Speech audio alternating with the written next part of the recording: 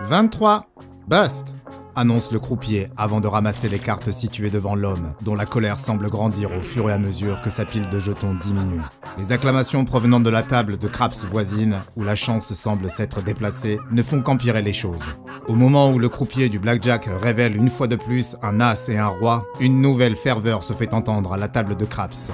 Encore un 7 s'écrie le croupier, avant de placer une énorme pile de jetons devant le jeune homme qui joue au craps et que rien ni personne ne semble pouvoir faire perdre. Le jeune homme ramasse ses gains et traverse joyeusement la salle bondée du casino en passant devant l'homme furieux de la table de blackjack. Le jeune homme encaisse ses gains et compte la grosse liasse de billets de 100 dollars qui lui a été remise avant d'en donner un à l'employé. Cette soirée est loin d'être exceptionnelle pour ce jeune homme. Depuis toujours, c'est comme s'il ne pouvait jamais perdre. Il n'est ni fort, ni rapide, ni particulièrement intelligent, mais il a toujours réussi à se démarquer grâce à un don incroyable, sa chance. Le jeune homme a rapidement réalisé qu'il était toujours en mesure de gagner au jeu de hasard et s'est rendu à Las Vegas, ville idéale pour exploiter ses talents. Et Vegas a été très généreuse avec lui.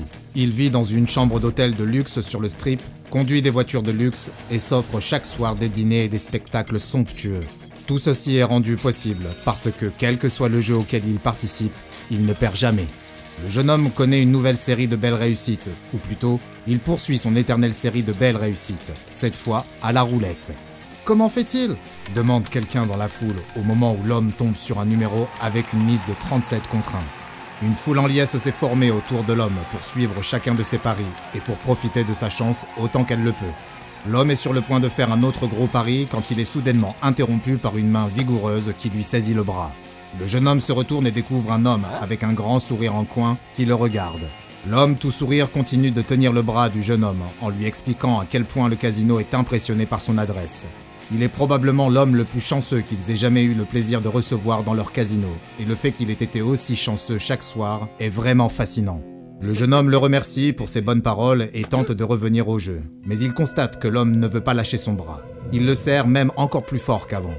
En fait, nous sommes si impressionnés, lui dit l'homme, que les propriétaires du casino ont demandé à vous rencontrer. Le jeune homme jette un coup d'œil à la main énorme et puissante qui tient son bras, et même s'il ignore qu'il s'agit de celle d'un ancien boxeur poids lourd, il comprend qu'il ne peut opposer un refus à cette demande. Bien sûr, lui dit le jeune homme. Laissez-moi juste prendre mes jetons et... Mais l'homme l'éloigne de la table en lui expliquant qu'il n'y a pas lieu de s'inquiéter, que le casino va s'occuper de ses gains. Après tout, nous avons des caméras partout. Qui oserait voler?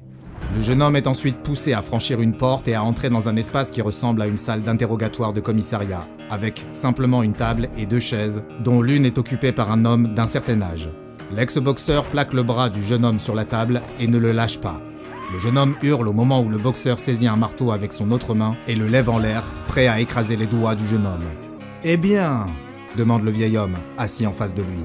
Le jeune homme s'est mis à pleurer un peu, mais entre deux gémissements, il finit par demander eh bien, quoi?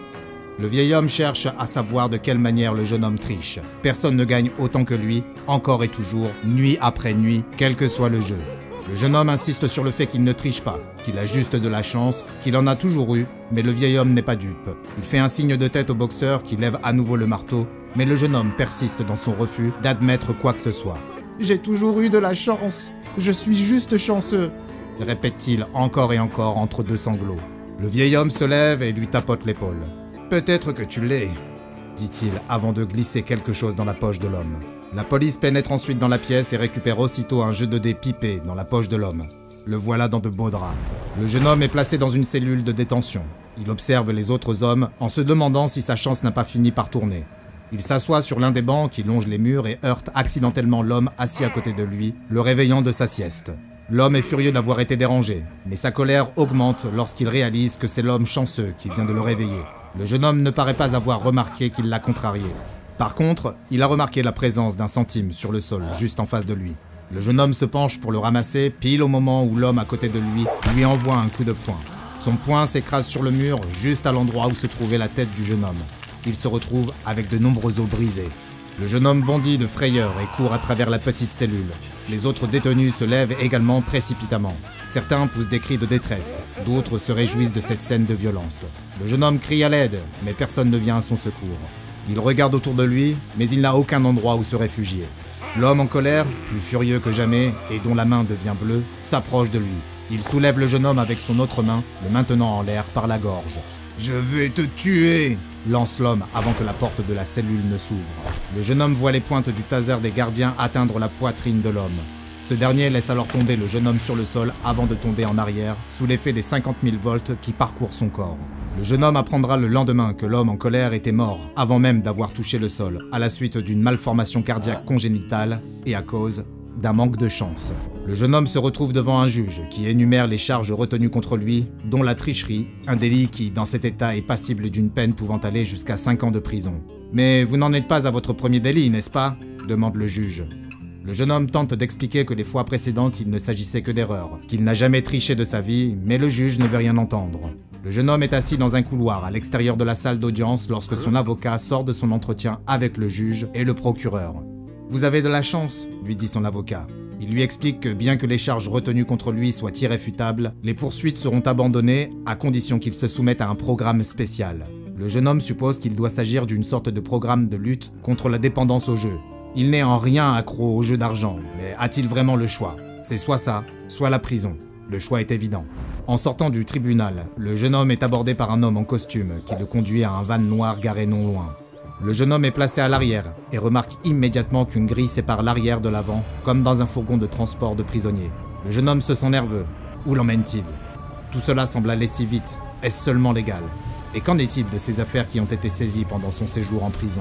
Euh, Excusez-moi, dit-il au chauffeur. et mes affaires? Je n'ai même pas mon portefeuille. Ne vous inquiétez pas pour ça, lui répond l'homme au volant du van. Vous n'aurez plus besoin de tout ça. Vous êtes un agent de classe D à présent. L'homme n'a aucune idée de ce que cela signifie, mais il sait que ce n'est pas bon. Sa chance a peut-être réellement fini par tourner. Le jeune homme qui vivait autrefois la vie d'un joueur professionnel à Las Vegas a reçu un nouveau nom, D87465. Mais comme vous allez le découvrir, il sera bientôt connu sous le nom de SCP-181, ou comme le personnel de la fondation SCP aimait à l'appeler, chanceux. Le SCP-181 a été repéré par la Fondation après avoir été arrêté pour avoir escroqué à plusieurs reprises la commission des jeux du Nevada. Au départ, il a été intégré au personnel de classe D de la Fondation, les cobayes de la Fondation SCP qui sont utilisés pour effectuer divers tests avec des anomalies, afin de mieux comprendre leurs propriétés. Cependant, il est vite apparu que la capacité de cet homme à déjouer les pronostics n'avait rien à voir avec la tricherie. Lors de sa première expérience, qui s'est déroulée dans la zone de confinement du reliquaire 02, lui et plusieurs autres membres de classe D ont été exposés à un SCP connu pour susciter une colère et des envies de meurtre irrépressibles chez ceux qui entrent en contact avec lui. Comme prévu, l'un des membres de classe D est devenu furieux et a commencé à se déchaîner, tuant tous les autres membres de classe D présents. Tous, sauf un. Par chance, l'agent de classe D en furie a manqué l'agent D87465, car celui-ci s'était couché sur le sol parmi les autres corps et faisait le mort. Une équipe d'intervention armée est rapidement entrée dans la cellule d'expérimentation et a maîtrisé l'agent de classe D enragé, mais qui avait épargné l'agent D87-465. Il a ensuite été soumis à un test avec le SCP-075, une créature qui ressemble à un gros escargot avec un pied musclé en forme de main muni de six doigts et de griffes. Le SCP-075 est beaucoup plus lourd que sa petite taille ne le laisse supposer. Il pèse environ 860 kg. Malgré cela, il est capable de se déplacer à une vitesse extraordinairement élevée. Il bondit rapidement sur tous ceux qui s'approchent de lui et les asperge d'un liquide corrosif mortel. L'agent D87-465 a été placé dans une cellule avec le SCP-075 dans le cadre d'une expérience visant à mesurer sa vitesse et son temps de réaction. Mais alors qu'au cours des précédents tests le SCP-075 était parvenu à tuer immédiatement tous les agents de classe D, l'agent D87-465 a réussi à déjouer ses attaques. Il a toujours été capable de deviner dans quelle direction se déplacer afin d'éviter l'escargot meurtrier, comme un gardien de but de football qui plonge toujours du bon côté lors des pénaltys. Comme il a survécu non pas à une, mais à deux expériences qui l'ont exposé à des anomalies de classe Keter, les chercheurs ont dû déterminer si l'agent D87-465 était lui-même anormal ou s'il ne s'agissait que d'une simple anomalie statistique. Pour ce faire, l'agent de classe D a été placé dans la cellule de confinement du SCP-082, plus connu sous le nom de Fernand le Cannibale. Un humanoïde énorme aux allures d'ogre, souvent habillé comme un aristocrate de l'époque victorienne et qui raconte à ses invités des histoires abracadabrantes avant de les dévorer immanquablement. Mais il y avait quelque chose de différent chez l'agent D87-465. Après avoir survécu pendant un mois entier dans la cellule du SCP-082, les chercheurs de la fondation SCP ont soupçonné que l'incroyable capacité de survie de l'agent de classe D était bien plus que de la chance. Mais il leur fallait réaliser d'autres expériences afin de déterminer si ses pouvoirs allaient au-delà de la simple capacité de survie. L'agent D87-465 n'a plus eu à effectuer des tâches d'ordinaire confiées aux agents de classe D, et les chercheurs ont commencé à effectuer des expériences. Ils l'ont vu lancer une pièce 50 fois de suite, et celle-ci retombait toujours du côté face. Des résultats similaires se sont produits lorsqu'ils lui ont fait lancer des dés. Il totalisait toujours un résultat de 7. Ou lorsqu'ils lui ont fait choisir des cartes au hasard dans un jeu et qu'il était capable de tirer les 13 cœurs d'affilée. Les chercheurs de la Fondation avaient désormais acquis la conviction que cet homme était plus que simplement chanceux. Il semblait posséder la capacité de créer un effet non naturel sur les probabilités. Mais les chercheurs soupçonnaient qu'il produisait cet effet sans en être conscient. C'est alors que l'agent D87-465 a été reconsidéré et qu'il a reçu une nouvelle désignation, celle de SCP-181. D'autres tests ont confirmé que le SCP-181 est capable d'agir sur les probabilités, sans qu'il n'y ait besoin d'une quelconque action de sa part. Cependant, le SCP-181 n'est pas seulement chanceux, et les chercheurs l'ont vite découvert. Lors d'un audit sur le taux de mortalité et le taux de blessure dans la zone de recherche biologique 12, où le SCP-181 est contenu, il a été découvert que les deux taux avaient augmenté de façon spectaculaire depuis son arrivée. Il apparaît que le SCP-181 ne se contente pas de créer sa propre chance. Il prive les autres de toute chance du simple fait de sa présence. Il semble que de chaque moment chanceux qu'il vit, en résulte un événement malheureux pour quelqu'un d'autre. À chaque fois qu'il obtient un 7 en lançant une paire de dés, quelqu'un d'autre n'obtient qu'un 2. Et toutes les fois où il parvient à échapper à la mort, quelqu'un d'autre doit mourir. On ignore jusqu'à quel point il est chanceux. Survivrait-il à une explosion nucléaire Et si oui, que se passerait-il si l'on voulait rééquilibrer les chances, si j'ose dire À la lumière de ces nouvelles découvertes, le SCP-181 a été retiré de sa cellule de confinement de faible niveau, où il a été autorisé à interagir occasionnellement avec du personnel de classe D à des fins de divertissement, et a été transféré sur le site 27, où il a été placé en isolement. Il est désormais classé comme sûr, toutes les interactions avec le personnel se limitent désormais au strict minimum afin d'assurer sa survie et sa sécurité et afin d'éviter tout événement susceptible de lui procurer de la chance.